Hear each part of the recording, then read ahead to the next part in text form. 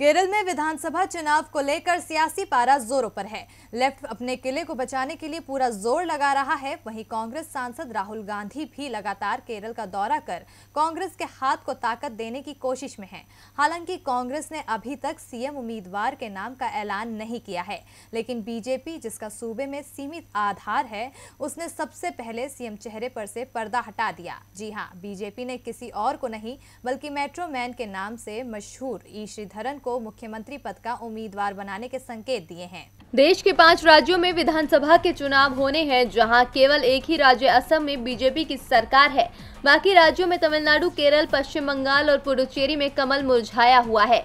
इन राज्यों पर भगवा रंग चढ़ाने के लिए बीजेपी पूरा दम लगा रही है, लेकिन बीजेपी ने केवल एक ही राज्य में अब तक सीएम पद के उम्मीदवार के नाम से पर्दा हटाया है।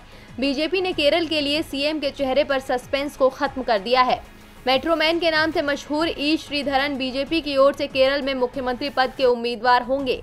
जल्द ही बीजेपी की ओर से इसका औपचारिक ऐलान किया जाएगा। केरल बीजेपी के अध्यक्ष के सुरेंद्रन का कहना है कि उन्होंने केंद्रीय नेतृत्व से अपील की है कि ई. श्रीधरन को पार्टी का मुख्यमंत्री उम्मीदवार घोषित कर दिया जाए।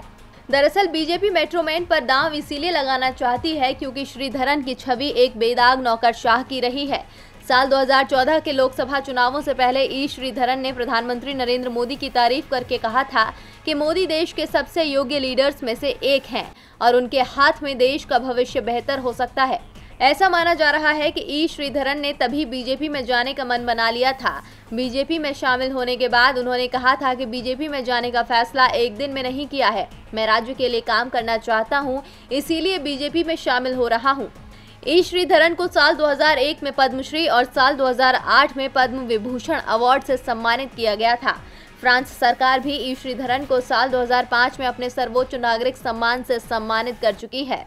अमेरिका की विश्व प्रसिद्ध पत्रिका टाइम मैगजीन ने इन्हें एशिया हीरो का टाइटल भी दिया था। उनका सियासत से कोई नाता नहीं है, लेकिन अब उन्होंने कमल को थाम कर सियासी सफ़र शुरू कर दिया, जिनका सहारा लेकर बीजेपी केरल में कमल खिलाने की कोशिश कर रही है। अब देखना होगा कि वो इसमें कितनी कामयाब हो पाती है। डीबी लाइव की रिपोर्ट।